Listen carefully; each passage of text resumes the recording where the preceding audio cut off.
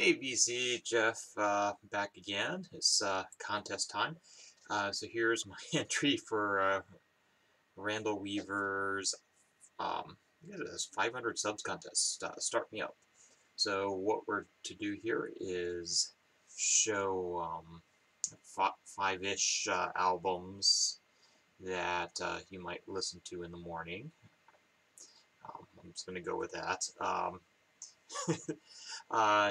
yeah, so I was saying I've only seen like one or two um, entries so far, so just, I'm just going to jump right in here. And if you're not uh, subscribed to Randall, you probably should be. Uh, it's one of the people I do regularly uh, watch his videos um, every week, but he, yeah, sometimes I'm a little late though because he does put out more than me anyway. Uh, so I'll put the link for the contest down uh, below.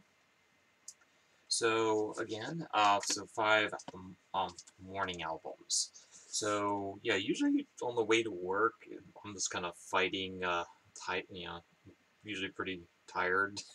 so I'm usually trying to get pumped up for the day because I usually do like 12 hour shifts. Uh, so one of my favorite pump up albums, uh, can't beat uh, Raw Power.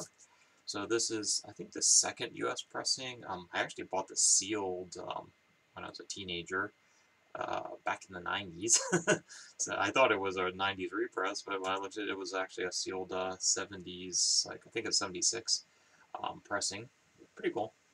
Um, yeah, can't go wrong with that. I'm a huge Iggy fan. So of course, yeah, title track, Raw Powers, Seek and Destroy, Gimme Danger, um, Pretty Face Going to Hell, Shake Appeal. You can't beat this one, man. This is this is the ultimate pump up album. Um, another favorite, it would be uh, Melvins. Usually, you know, I'm just going to throw on Spotify or whatever, but uh, um, you know, one of my personal favorites, uh, Eggnog. I know Sean's going to disagree with me on that one, but I love Eggnog. It's a short one. It's a mini LP, I guess. Um, but yeah, th this is their best one, but it's not it's not a good morning. It's very hard to stream too because of uh, copyright issues because it's uh, named after a certain spray, and I guess they kind of got away with it, uh, getting around that uh, the repress. But um, yeah, excellent Melvins, hard rockin' um, stuff there. Same vein, I might you know maybe some helmet or um, sometimes I'll go a little more math rocky in the morning.